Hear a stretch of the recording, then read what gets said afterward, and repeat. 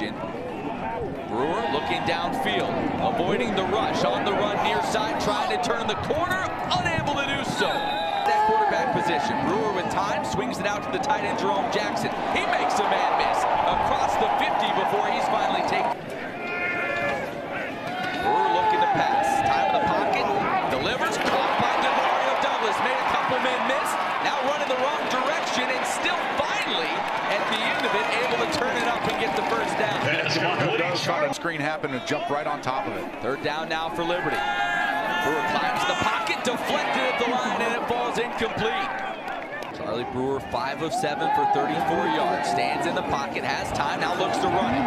Up the middle, angling across the 40, and he has the first down yardage. Corner covered it very well. Kaidon Salter came off to his second read. Just picked up seven yards. Salter slinging it now far side. Catch made by Demario Douglas. Up just shy of the 50. So Salter getting that ball out of his hands, who has performed better than the others this year. It has been Bennett.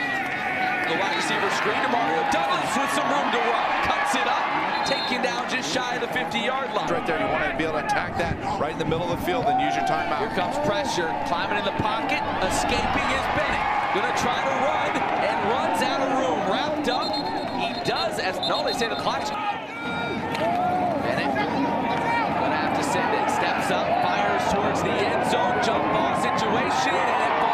Incomplete. No, phone. He should be able to find a soft spot in the zone. Bennett fires, and it's nearly intercepted.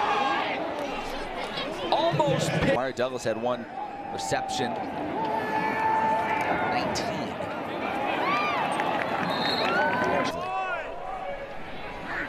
Mexico State on a 35-0 run.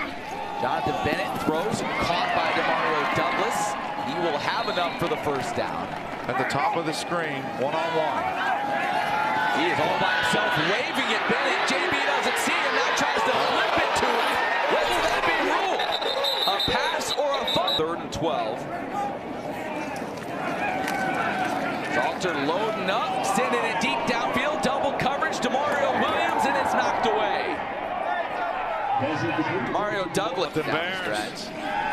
Little wide receiver screen. Demario Douglas turns it up, stumbles his way across the 50, so Lane's able to move the chains.